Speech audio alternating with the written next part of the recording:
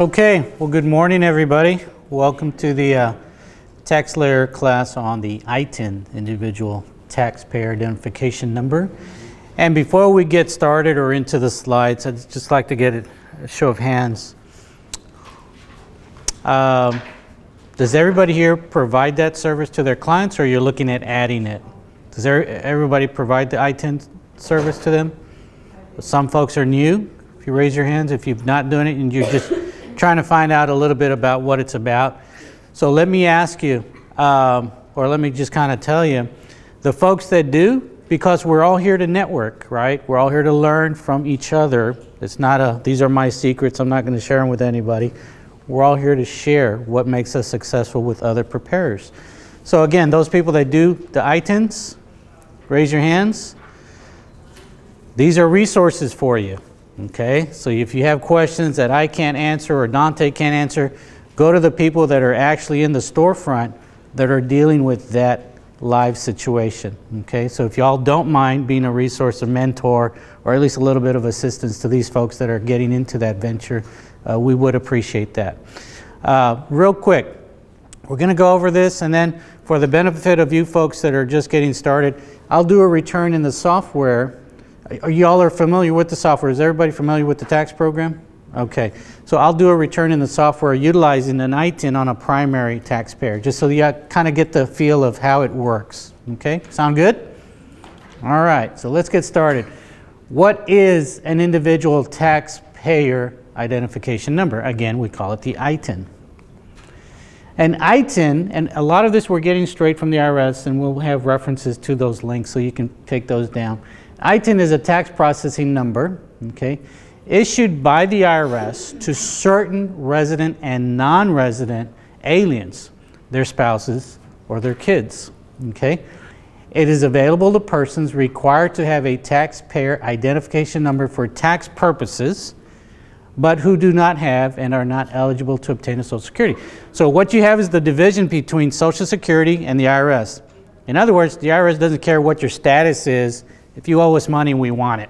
Okay? So since you couldn't qualify to get a social, we're going to give you a different number that applies to us directly so that we can record your payments. Okay? And charge you accordingly or give you rebate, uh, uh, refunds. How to apply for an ITIN at the end of the presentation. We'll do this more in the uh, uh, presentation of the software, how easy it is to do it, but we'll go through the 1040 and the W7. Okay? Where to apply? There's three, three options. Mail the form, W-7, application, original ID, so it's on a leap of faith that the Postal Service doesn't lose it, okay? How many of y'all have had documents that are lost? How hard is it to recover? Very, very, very. So you may have recommendations. Um, obviously, you're sending it certified, registered, whatever, right? Unfortunately, that only registers the package, not the contents. Okay? So once they open it, whatever happens, happens. All right, original documents or certified copies to the address listed on the form instructions. Utilize an acceptance agent. I asked that earlier. How many of y'all are acceptance agents? Acceptance agents are those of you that have applied and been uh, designated as an acceptance agent and that is, I, I, I liken it to a notary public, you know? They trust you that what you're doing is right. So it helps to become, and I would recommend to y'all, become an acceptance agent with the IRS. Yes, ma'am. Uh, the re actual requirements, I don't know. It used to be back in the day, you had to do so many minimum, and then they think you had like a questionnaire or something. They, they just want to make sure that what you're doing, what comes out of your office, you've got a check mark from the IRS saying, you know what, we trust them. They're an acceptance agent. Just again, like a notary public. You're trusted with a seal, acceptance agent. You've been doing this, this forever, and we like what you do. We trust you. So you, we know that your submissions of applications are going to be good. Okay, so please look that up. Yes? Is it too late to apply? No, it's never too late to apply. There's no deadline for an acceptance agent. So, you know, starting tomorrow or Monday, look at becoming an acceptance agent. Okay, we call them certified, I just call them acceptance agents, We'll certify all the ID documents for the primary and- and secondary, as well as passports and birth certificates. So you're almost taking a step out of what the IRS would have to do. Or go to the local IRS office that has the Taxpayer Assistance Center. Okay? Again, strong recommendation, become an acceptance agent. I'm not sure on what the requirements are. Like I said, back in the day, you had to do X amount of applications before they would even consider you. I looked online, there's a couple, um, organizations that will certify you, you do a PowerPoint, this long PowerPoint presentation, and you fill out some forms, and that's it. Okay, well then if there's no minimum, then that's, that's good to know. That's good to know, thank you. All right, completing the uh, app- W-7, the reason for applying. Once you establish that your client needs the ITIN, you begin the process of completing W-7. Determine the tax status. Non-resident alien for non-IRS purposes, they may be a resident alien for tax purposes. So- So there you have the conflict. Social Security may say you're a non-resident alien, whereas the IRS says, hey, we treat you as a resident alien because you're here, because you work, because you owe taxes. Okay? So big conflict there. These publications, again, this is where we say we're just referencing this, and all this is in your My Account. Okay? The following pubs are available online at irs.gov. That's where everything starts, irs.gov. Okay? Pub 9, 519, Pub 901. There's a phone number, good luck. Okay? Because that's the generic 829 1040 that the whole country calls. Okay? And then they break it down from there. All right? If you're outside the US, you might have better luck. okay? All right, select the category of which your client falls. Now, we're going to go through this when I do the tax return. We're actually going to complete the W-7, okay? So, reason for applying, okay? Check in the box. There's various uh, reasons, and we'll choose one that I think is the most common. If you choose box A or F, you must provide tax treaty information, okay? Most of those won't be A or F, okay? Box H other, kind of drilling down. If the reason your client's ITIN request is not described in boxes A through G, then you go to H as other and put detail as to what their purpose is for applying. Again, that'll be rare because the first seven should probably take care of it. The end of the presentation, be able to complete the W7 applying one through six. If I'm going too fast, let me know. But there's just, you know, it's just, it's not that difficult. Now we'll do a breakdown of the lines. Pretty self-explanatory. Enter your client's first name, middle initial, and last name. Now remember the two surnames, right? Garcia Sanchez, Sanchez Garcia, De Maria, whatever. So you have to determine, uh, based on prior tax returns, what you consider or what they've normally filed as middle name and last name. Usually, there's not a big middle name, it's a long last name. Okay? Some cultures, and you may even have a hyphen or apostrophe. Enter the way the name appears on the documents to prove foreign status and identity. All right? Name at birth if different. So if it's changed since their birth name, you'll put it on the line name at birth if different. That's 1B. Client's name changed due to a marriage or uh, just a legal uh, change. Surname is now the same as their surname at birth. You do not need to complete this. So what they're saying is your client's names change, but maybe they got divorced, so they're back to what they were originally. Then there's no need to complete it. Okay, so, so what their name is now versus what it was there doesn't matter what was in between. Okay? Mailing address. Mailing address only if it's different than the address you're entering on line three. Okay, so it's kind of the, harsh, the cart before the horse. So you got to know what line three is going to be before you put it on line two. Okay, and that's where they'll send all the uh, paperwork back to them. And don't use a PO box or care of. Okay. Uh, do any of y'all have issues with mailing address where they don't have a mailing address and you want to use yours, or, or is there any situations like that? So everybody has a valid mailing address. Okay. I know apartment dwellers, you move from one to another, and hopefully the mail follows you because you don't know the time that the application is going to take. So if their lease is almost up, kind of warn them if they have an address that they want to use that they know they'll be at in a couple of weeks, that might be a good suggestion. Foreign address, okay? If they're permanent, non-US address.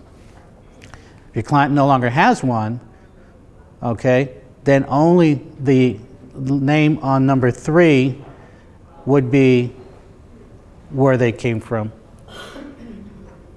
So they're no, they don't have, no longer have an address out of country, then they would be basically where they arrived from. Again, no PO box. Birth information, 224, okay?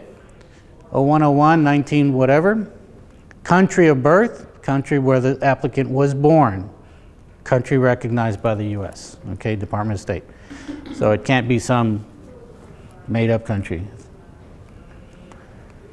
City, state, or province of birth, okay?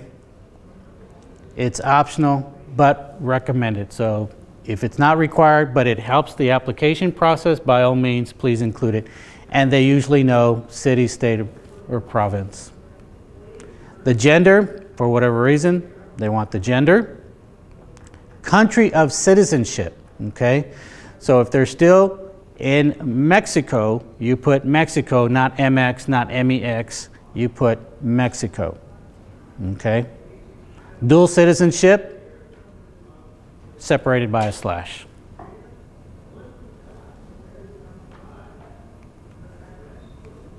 Foreign tax ID number, okay? They have a foreign tax ID number. Your client has a Canadian Social Security. I don't think that's going to happen much down in this area, but enter that as well if they have it. Again, the more information you provide, the better it is to get that application processed quickly.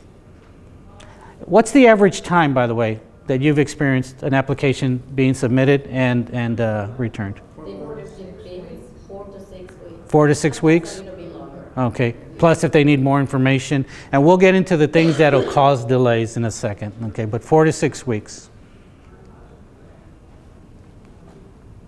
We're up to line 6C, the type of U.S. visa, number, and expiration date. Okay. B1, B2, the number and expiration date. Okay, you would put it B1, the number, again, 2, 2, and 4.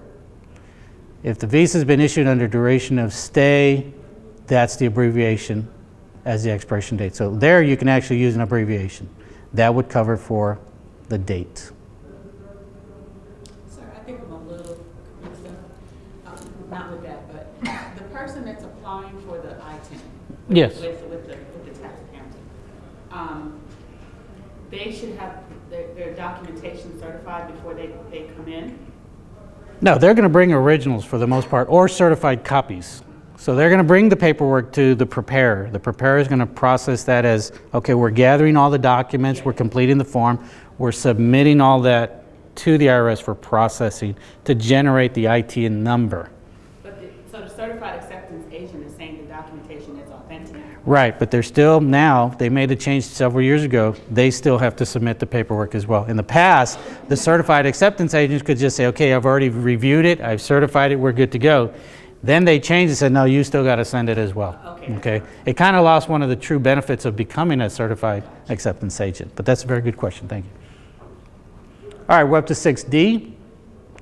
You should only enter, and these are IDs, the information for one of the documents to prove foreign status. So if they have multiples, just put one, the most, uh, and identity. If you're submitting more than one document, then you'll have to attach a separate sheet of paper, entering the second document in the same format. So if you've got one, it's sufficient, that's good. What are some typical forms of ID that y'all collect? Passports, Passports, uh, Birth Photo certificate. Birth certificates? But the passport is international, so it's. the Right. best- The best one. And that's the biggest scare if it gets lost. Okay, again, we're back to the Postal Service and the IRS Processing Center. Has anybody lost a passport or had a client where their passport's been lost? I have a client that, uh, they just, they recently sent it to renew the new, renew the W seven. It's a new law. Right, the renewal? And they, I think they sent it, I didn't send it, some, someone else's help him. So they sent it they did not have the original wrap, and I love it. Oh, yeah. Yeah, it is scary. I do recommend sending certified to the uh, post office, and they get also a little card when they got the documents. That's one of my biggest recommendations. Okay, okay. Well, that's good to know because losing the documents is, is, is everybody's biggest nightmare. They are requesting the originals. Okay, They are permanent uh, residence card. uh huh. How are you gonna send your resident card? to- Yeah, I mean, that, it's like giving your wallet. And now what do you do? Yes. Other document suggestions other than the passport and the birth certificate that you guys? Those are two of the most common. Consular ID? Consular. Yeah. In some big cities, they have the consulate. Uh, I know in Houston, you know, the, the, the Mexican consulate constantly busy with, with, with people there. the voter's registration for Yeah. Mexico. Really? Okay, okay. That's official also. Okay, that's good to know. That's good to know. Identification of the documents. Check the box for the type being submitted, if it's not already shown on this line. That would be, it- good question. Passport, driver's license, state ID, or from Customs and Immigration. I think all of these have a picture tied to the name, correct? So all of these have a picture tied to the name, and other if it's not one of those, okay? I don't know what other would be if you don't have it. Birth, cer- but the birth certificate, there's no picture attached to it. If you send the voter's registration or the consular ID, you have to send the birth certificate, Okay, If it's a child, if it's a child. if it's a child, you can send a birth certificate and a, what's the called? The shots record. Yeah, shots record. shots, okay, so if it's a child, birth certificate and shot records, doctor, Or They can attach a photo on the shot records. oh, okay, a shot record with a picture. Okay, that's good to know. Again, continuing with ID of documents, enter information relevant to it, the ID number, expiration date, 224, client's entry date into the US. Now, a lot of times that's not exact, but you be as approximate, at least with the year. Okay, because does, does anybody really remember the month and the day that they came over?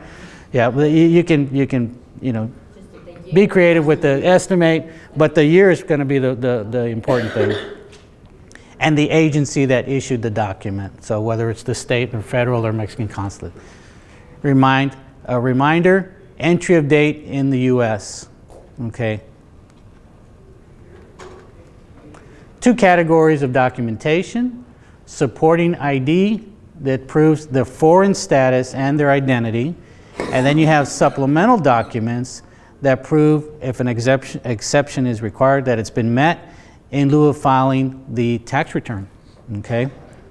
Both acceptance agents and certifying acceptance agents must submit this uh, documentation with Form W7. I think in the past it wasn't required, but now they need it as well from both of these. Okay, acceptance agents and certified. Again, making them back down to what, what non-acceptance agents have to do. There is a um, W instructions, and you can look at uh, online, and it tells you the list, the documents that are acceptable. Okay. So this or this, this or this, you know, but has to be one or two, or one of them uh, cover ID and yes. Okay. So yeah. So different categories and options to that particular category, and whether you need one or both, or one may, one may replace both. So it's, it's, uh, basically they're just trying to prove who they are, where they're from, and that they've been here. Okay?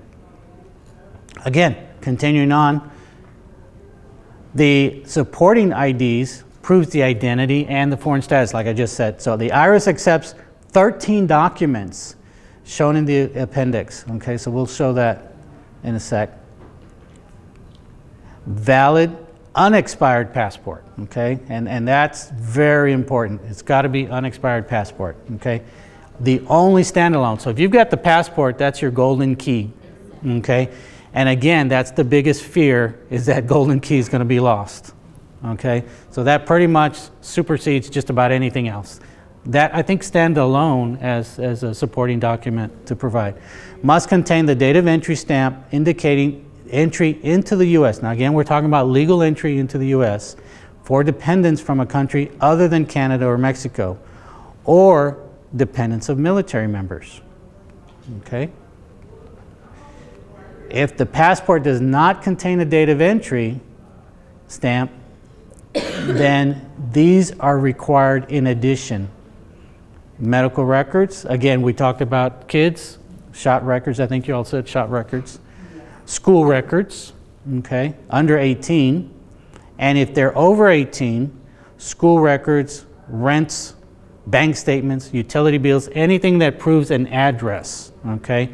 Obviously an apartment, a bank statement proves what the account, utility bills proves the uh, residency, listing the applicant's name and address. So again, they're trying to validate the residency of where that person lives. If the passport's not required, submit at least two other documents. So if they don't uh, pro- provide it, so if they don't have the passport or choose not to submit it, then they have to substitute it with at least two of these documents. One with the photograph, exception for dependents or uh, students under 18. The other one, documentation uh, for a dependent or student under 18 must include a civil birth certificate, okay? And again, if the passport's used, you don't have to worry about it. So do y'all recommend passports to your clients, even if there's that big risk? Okay, so you just, it's the easiest way to go. This is the only one you can prove uh, your status or. Residence, uh, and date of entry, right. Okay, and then it's just, let's pray and hope that it comes back in six weeks. much accept the passport, so that all their documents, sometimes they say, oh, you know, it's just been expired. the Right, hard to get, hard to find. This is a lot simpler. So, so again, the key here is the passport is going to be the best, the best method for applying. I made a copy of the passport, if, if, if it gets lost, just go to Raleigh and get another. Really? Okay. That's what we do. So that's pretty quick if it, to replace it? Yeah. Okay, good. Yeah. Okay. IDs, again, must be original or copies certified by the issuing agency. And, and where do you go for certified copies? Where do you all go? The consulate? I don't certify copies. So when you make copies, you just make copies or you? Uh, It's just for Like the It's file. for the file. Oh, okay. Long time ago, they, they accept like a notary copy certified, Uh-huh. don't accept it anymore. I think So notary copies not, not considered, uh, really, really? Wow. people make like a lot of frauds and they are not accepting, um, by the notary. Okay, but the consulate is, is good to go? Yeah. Okay, They're gonna go to cancel. okay. Uh, This is a couple of years old now, but as of June of 2012, no longer accepts copies notarized, just like you said, okay? By the U.S. Public Notary or certain foreign notary publics authorized to certify documents under the Hague Convention. So you're exactly right. The fraud has probably kicked that out. So now they want you to go to an established uh, uh, the consulate. Acceptance agents review supporting ID, proving the foreign status, and attach it to. So in the past, you didn't have this part, okay? Everybody wanted to be an acceptance agent because all you had to do was almost like, again, like a notary said, I've reviewed it, it's good, boom, let's send it off. And everybody loved that because there was no risk of losing the original documentation. And then the IRS changed that and said, no, you guys, you got to go back to the same. And I think a lot of it had to do with, unfortunately, fraud. Okay, so now they want it from everybody. So the benefit of the acceptance agent was declined a little bit because of that. Certifying acceptance agents review and validate the documentation and describe them in a certificate of accuracy. So now they can pretty much validate what they're doing and create what's called certificate of accuracy. Copies of the documents for the primary and secondary must be sent to the IRS with this certificate of ac- accuracy. For dependents, attach the original or certified copies, okay? So you still have to send copies of them.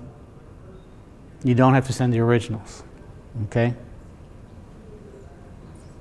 So that's might be a good thing because you're saying we've looked at the originals, they look good, we're going to submit a copy.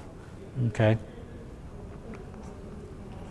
Supplemental documentation proves the exception. Again, this was if they didn't have any of the uh, upper ones, met by taking the place of attaching the tax return to the W-7 and demonstrating that your client meets the criteria for claiming an exception. In other words, they qualify for one of these exceptions as to why they're not submitting a tax return, okay? All of the supplemental documents must be attached to the W-7, okay? So if they're not doing that, everything that is attached to it must be submitted. And I'm assuming originals. Reminder, the supplemental documentation must be attached by both the acceptance agents and certifying acceptance agents.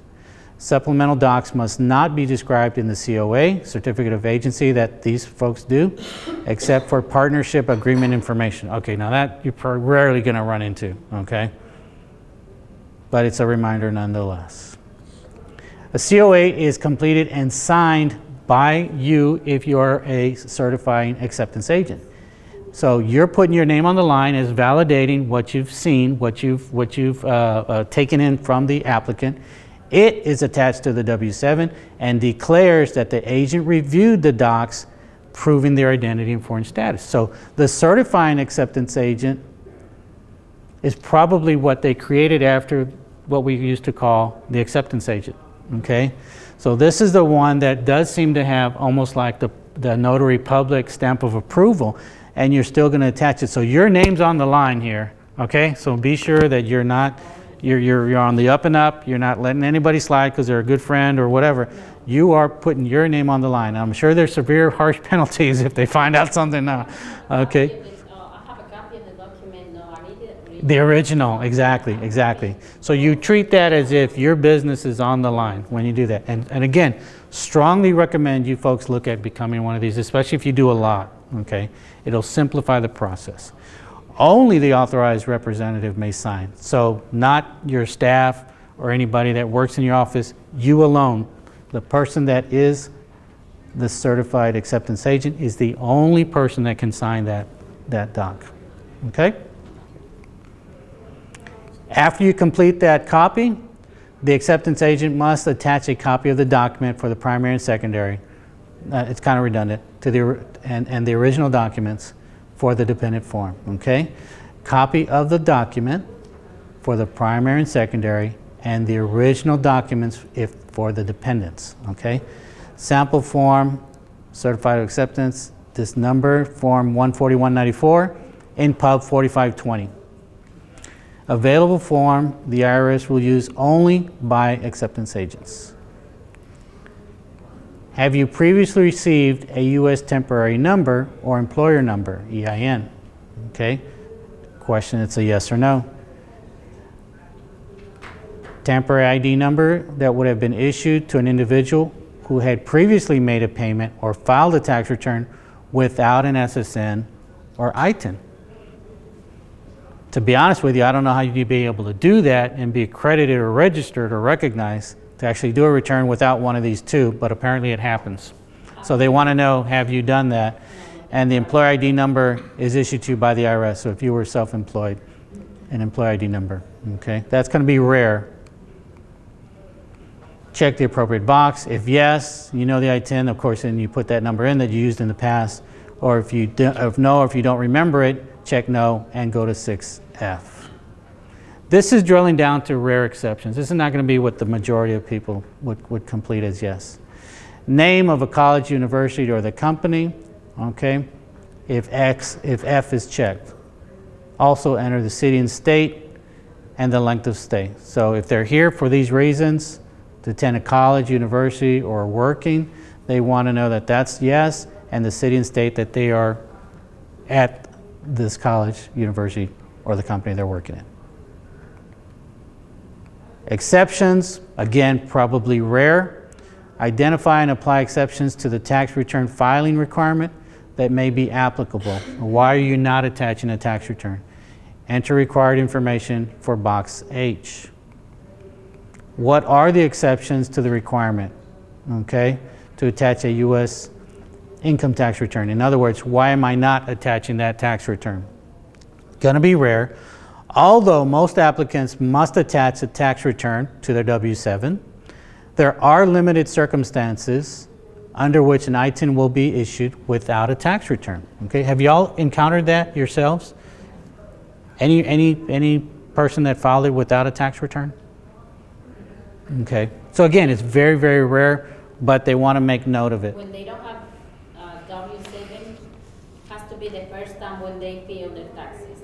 It goes together, the tax Right, right, right. and then the W, but other than that, I don't have. So most, all of yours attached W-7 with the tax return? Mm-hmm. Okay, great.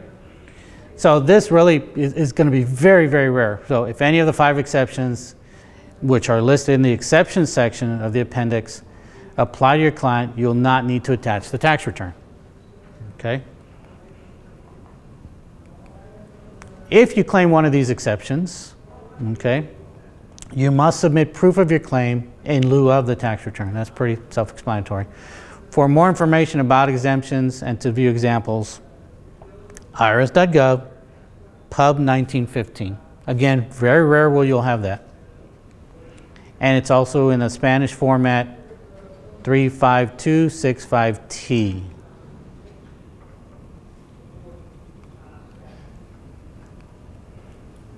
Apply the signature requirements to the W-7. Who signs the W-7 if the applicant is a dependent under 18 years of age? Okay? The applicant, the parent, or a court-appointed guardian. Copy of the uh, papers showing legal guardianship must be attached. Do y'all have that a lot in your place where the kids don't have a parent? Where they need a, okay, it's usually, The the- parents apply for the-. Right, they apply on behalf of the children. Minor in the first line and they sign it back. Okay, good, good, good. But y'all don't see this one much, court-appointed guardian, okay. If an adult, other than a parent or a court-appointed guardian, signs the form, they must have a power of attorney. And again, it doesn't sound like y'all encounter this much, because you do have a parent, okay? So someone other, power of attorney, and then this 2848 authorizes them to sign it. They are saying that it's now available in Spanish.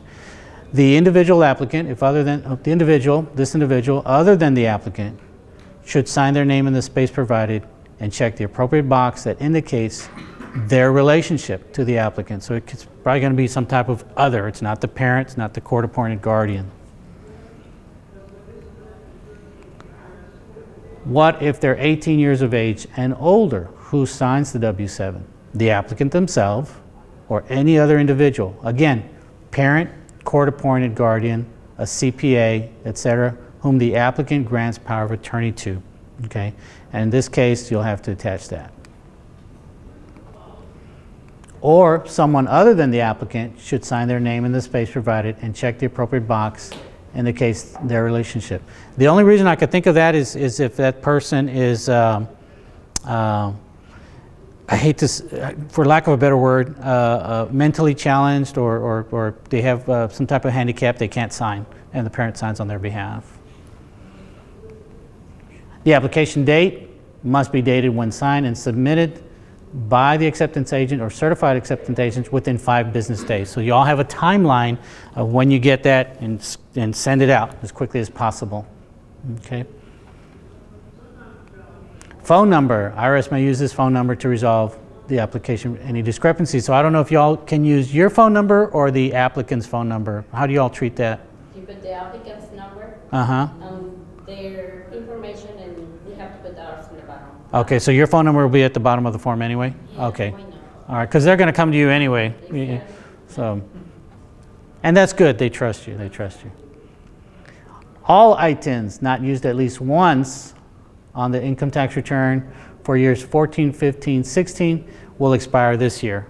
Okay, so we know that if they've not been used at least once, they're going to expire. They're just going to. It's like your EFIN. If you don't use your EFIN in two years, it's inactivated. Okay, and you have to start over, which I, I believe means you'd have to reapply from scratch to re, to get another number. And I don't know, it's a, it's a, it's a, a good question of if you do let it expire and you reapply, do you get the same number back or do you get a different number altogether? It's, re- should be the same. The same number, they just reactivate it? Right. I, people have a lot of questions because they are sending to the people letters that it says, um, if your W seven and the middle numbers are. Seven, six, yeah.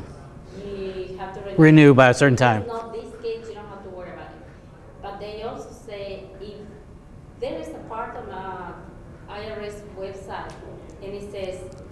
if uh, your W7 was issued before 2012, you have to renew it. But they don't say that to the people. So. Oh, right. Do they send them a letter? Do they? They send them a letter, but they don't specify. They also, if I got it, my W7, whatever, my 18, mm -hmm. I have it before 2012. 12. Regardless of whether you used it or not on your tax returns, it's still up for renewal. Okay, gotcha. So what she's saying is, the IRS saying is prior to 2012, whether you used your ITIN on a tax filing or not, it's still due for renewal. Whereas here, it's just if you haven't used it from 14, 15, 16, then it's going to be expired, considered expired, considered a, a, a- a non-working number.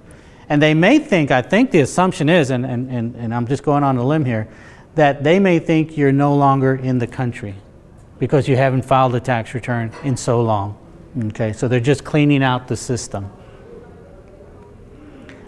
Here we go. ITINs with these digits 70, 1, 2, or 80 will expire regardless, regardless, okay?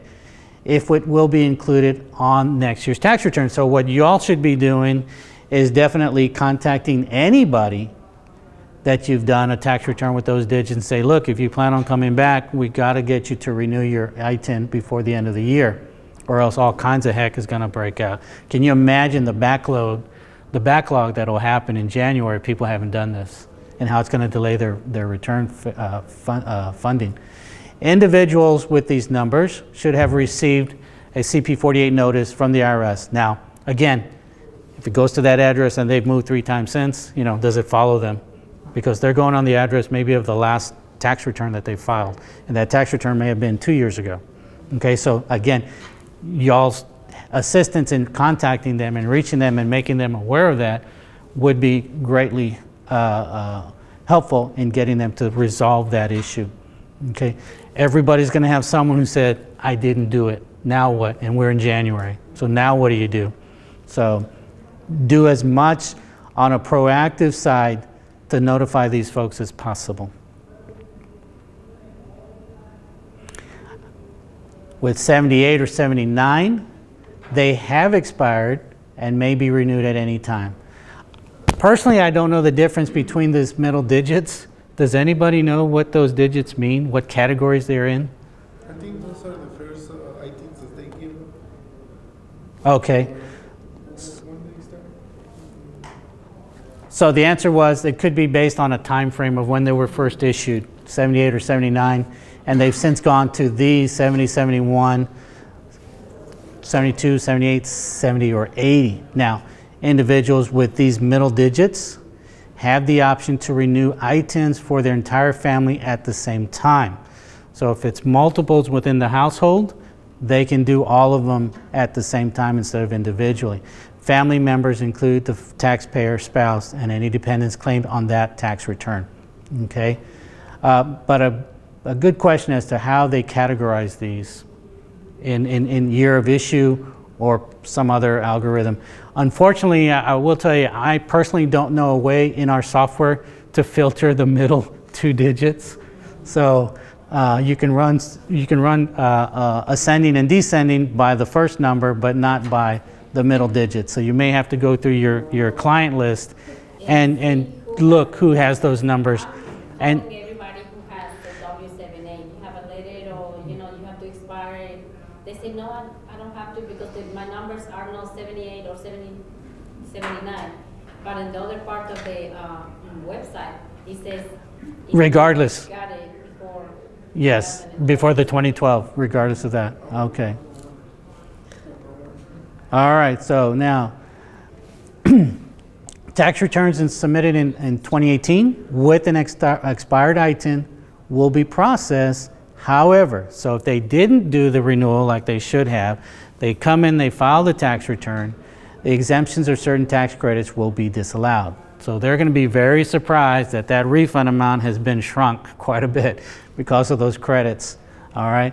Now, you file and amend it, or if once that, no, oh, that's a good point. Once the ITIN is submitted and processed, any applicable exemptions and credits will be restored. So what I'm thinking that's saying is you don't have to do an amended return. It's going to be on the IRS's part to say, okay, we've qualified you, you're entitled to these rebates and credits, I mean, to these, uh, to these exemptions and credits, here's the money, okay? So it does obviously behoove them to get this done as quickly as possible. By not doing it after the December, uh, before January 1st, it doesn't prevent them, it just temporarily removes it until they correct it themselves through y'all. So you may still be doing a bunch of uh, W-7s applications in January and February. So how they gonna, how that gonna work? If Apparently, they're going to be put on a hold. The IRS say, okay, you did not renew it on time, so they have to do They'll, they'll still, they'll still accept the, the return. It's still going to be acknowledged. But when the funding comes through, they're going to get those credits disallowed and those exemptions disallowed. Now, whether they get a letter or something from that, I'm not sure. But they're going to be surprised that that's not done. And so it should instruct them, the reason we did not allow those credits and exemptions was because you did not renew in time. Simply renew the application and then that money will be forwarded.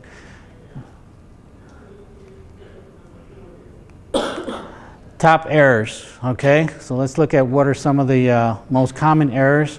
The forms are incorrectly prepared, incomplete, or when information is missing. I'm sure you folks never have that issue. You do everything complete, everything you take your time, and do everything right. Sometimes they're within your control, sometimes they're out of your control, okay? Your client's application is suspended or rejected, causing a delay. So if you don't take your time, it's not prepared incorrectly, it's not complete, something's missing or something was answered wrong, okay, then that's going to cause a delay. Shown are a couple of descriptions of the most common errors, okay?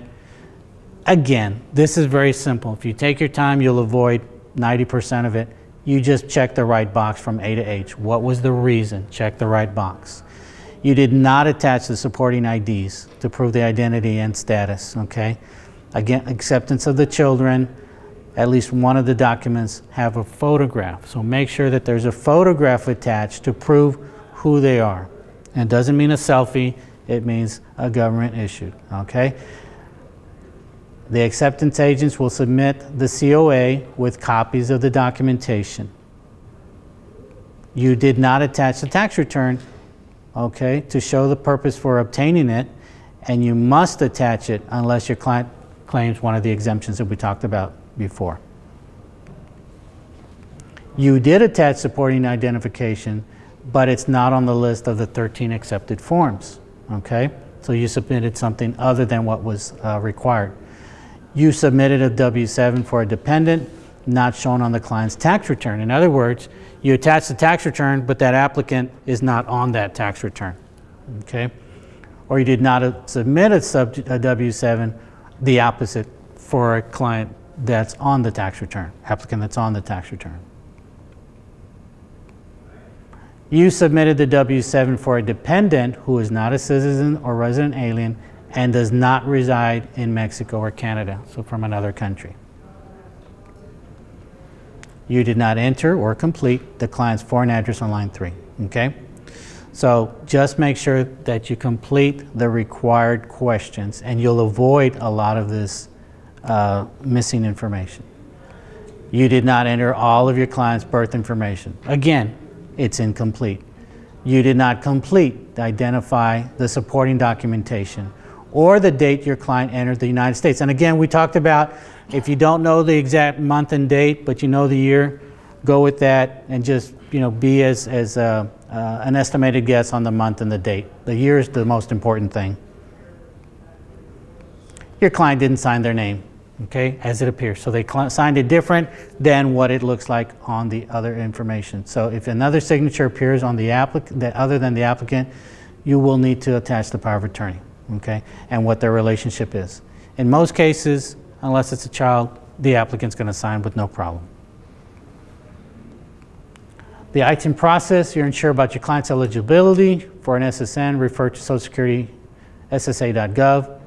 I would say talk to your network of preparers. Hey, have you had this situation? How did y'all treat it? Okay, that's a lot easier. Individual who's eligible for an SSN is not eligible. It's one or the other. They have an SSN or they have an ITIN.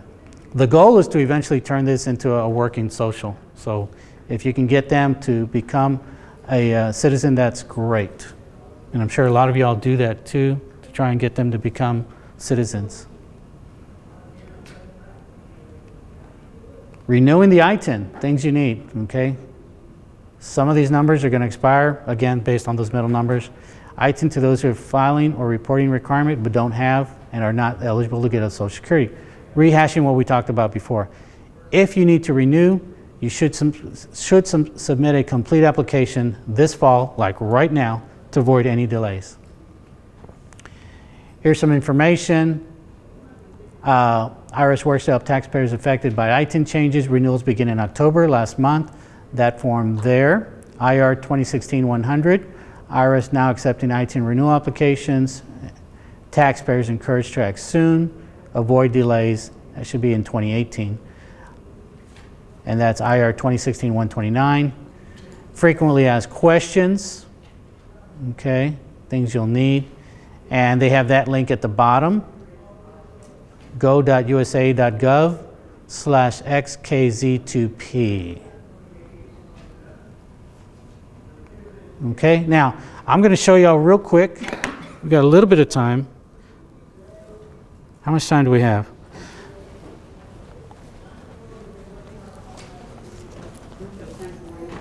I'm sorry?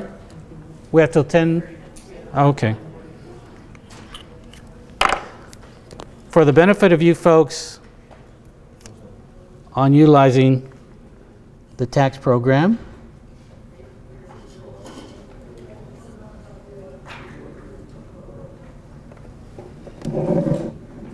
This is the 2016. Oh.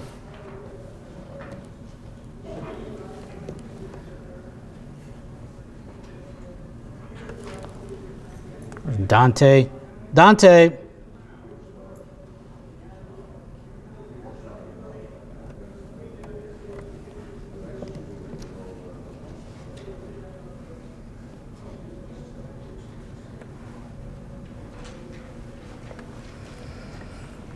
Now my lovely assistant will get the uh, program on the screen. I don't know.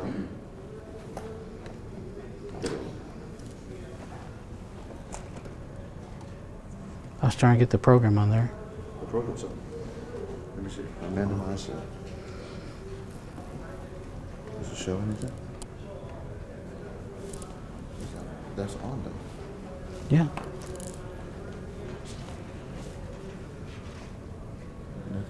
Is When I closed the slide, yeah, when I closed the slide, Huh? when I closed the slide, the, uh, It should've- it should've it should have taken the, Yeah, it should have. The See over there, because it's not, it's not showing anything on the screen. See?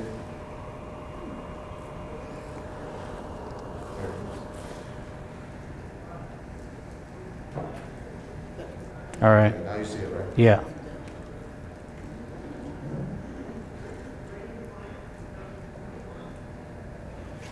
No signal. There we go. Oh, Okay, great.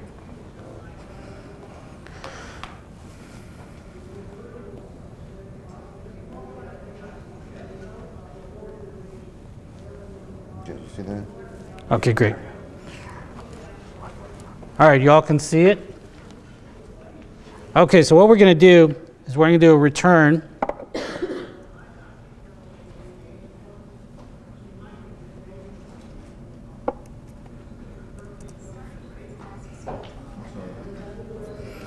As you all know, or, or let me just update you, when you create an ITIN, you don't start with the fake social that they've been using.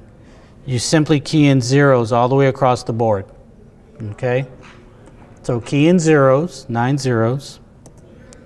It'll take the next sequential count and assign it that next number. So I've done one before. So now it's saying this is number two. Okay, so number two, and it'll just continue every time you do one. Do you want to create a new return? We'll say yes.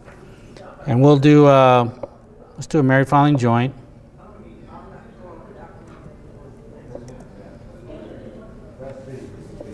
And we'll do IMA, ITIN. And you'll notice it didn't ask for the validation on the social because it's already plugged that, that, that number in there, that sequential count.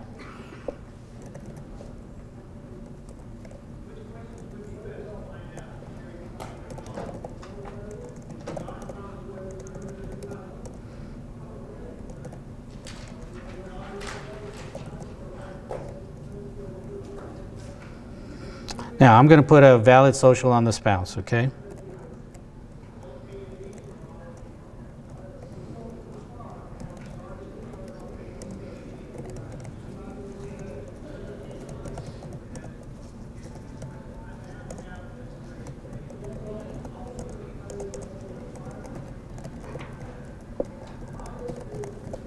Put some phone numbers.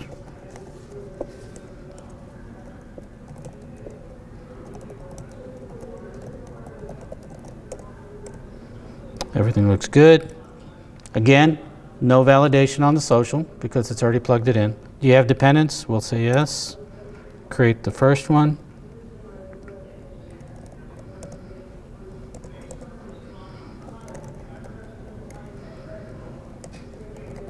Give them a social. And that's the only one we'll do. All right? So we've got a family of three. Primary does not have a social, but the spouse and the child do. The affordable care, I'm just going to make it simple, okay? We're just going to say yes and outside the marketplace. Here's our summary. Now, if I was using the scanner, does anybody use the scanning features? Good. You go to scan. W-2, here we go. All right, so we're going to create the W-2 on the taxpayer.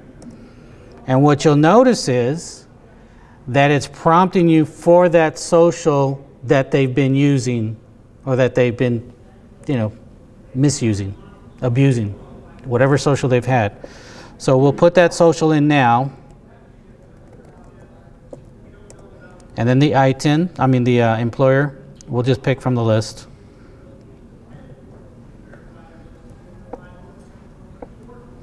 Put in some wages, some withholding. We'll just make it simple, make it 3,500, and keep everything the same, okay? That's the only one. No other income. All right. So now what you'll do is you go to over here, miscellaneous forms. And you'll go down to number 13, application for ITIN W7. Who are we creating? From the list, we're going to do I'm ITIN. And we can do apply for a new one or renew. So let's just do renew, since most of yours are going to be renewals anyway. Okay. I usually say non-resident alien filing a tax return not eligible for social. Does anybody use anything different? Okay, so that's number two is usually the most common reason that they're attaching it. Okay, so we're going here. And now here, if you look up here, remember when you have the magnifying glass up on the uh, toolbar, all it means is I can see a PDF of what I'm actually completing. Okay, does everybody use that tool? Okay, it's a, it's a quick reference to the actual form. It's just a PDF, it's not anything you can make entries on. Okay, so now you have at your disposal, you can view what basically the form looks like. So what we're going to do, you can see it's already input a bunch of the information. I'm going to close that out. We'll start answering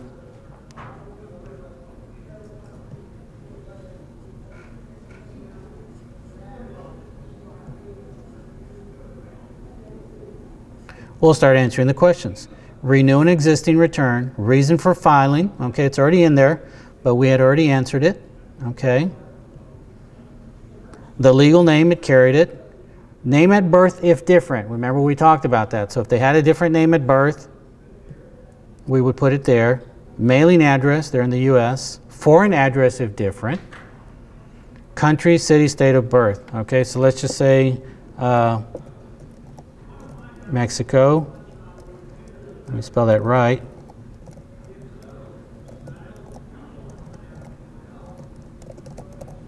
What's the state for Mexico City or province? The uh, Distrito Federal. Oh, okay.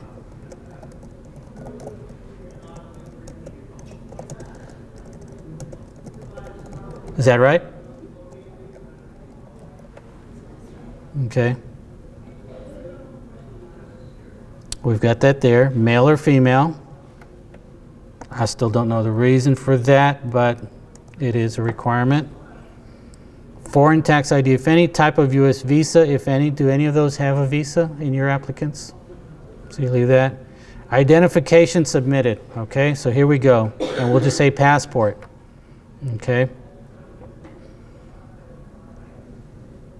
Issued by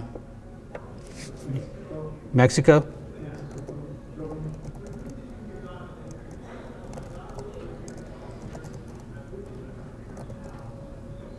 Now, this is where your entry date was. You take an estimate, I'll just say 0701 uh, 2001. Everything's filled in.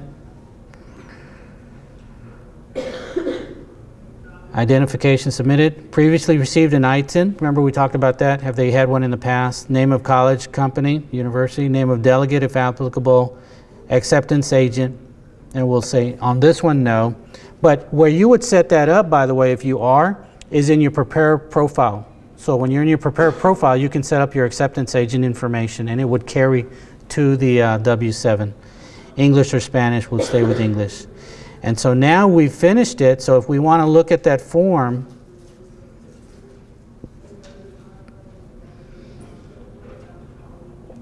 we can quickly go here to view results. W7, and now the completed form is there. Okay? And again, if you were the acceptance agent information, it would carry over to that. So it's really a nice feature to have.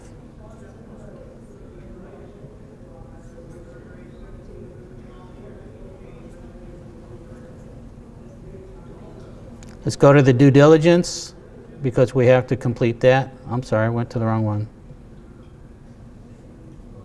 Payments and credits.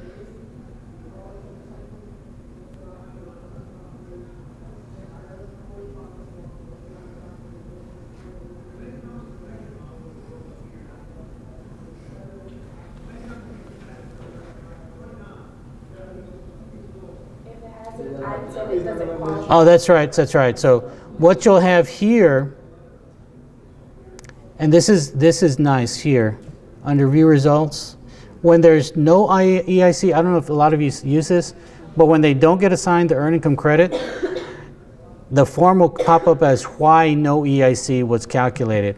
And they'll give you a list of, of disqualifiers, and it should have been a disqualifier here of the taxpayer's social security number is not valid. So that should have been marked off. They, they, yeah, they mark it. Yes. But I will tell you this, and, and I always use this for people that have been using TaxWise, is when you print the return, that'll be blank.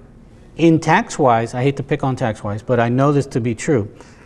That valid, invalid social would print out, and people would always have the white out and take it out because they don't want anything, not even applied. They want it to be blank. So we've always left it blank when it's the primary, okay? So that's just a little comparison with a, a friendly competitor. Once you're done, of course I have to do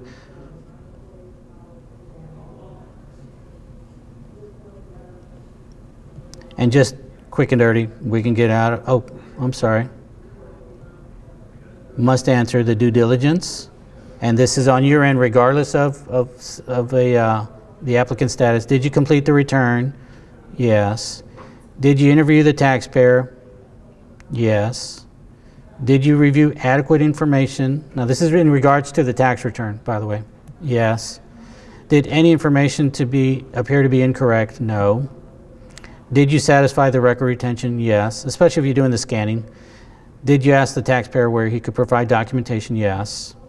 Did you ask if any credits were disallowed or reduced in prior year? No, yes. Were any of these reduced or uh, disallowed? No. So we've qualified that. Credit eligibility. Did you certify that all answers are correct? Yes. Okay, so we're done here.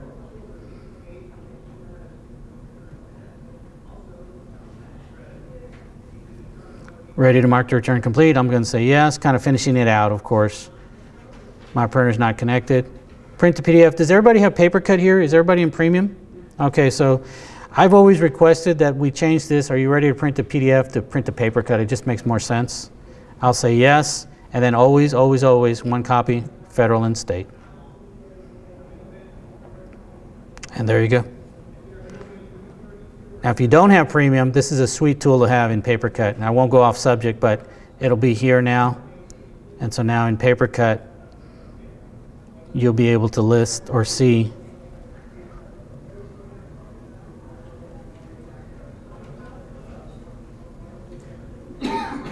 I'm an ITIN.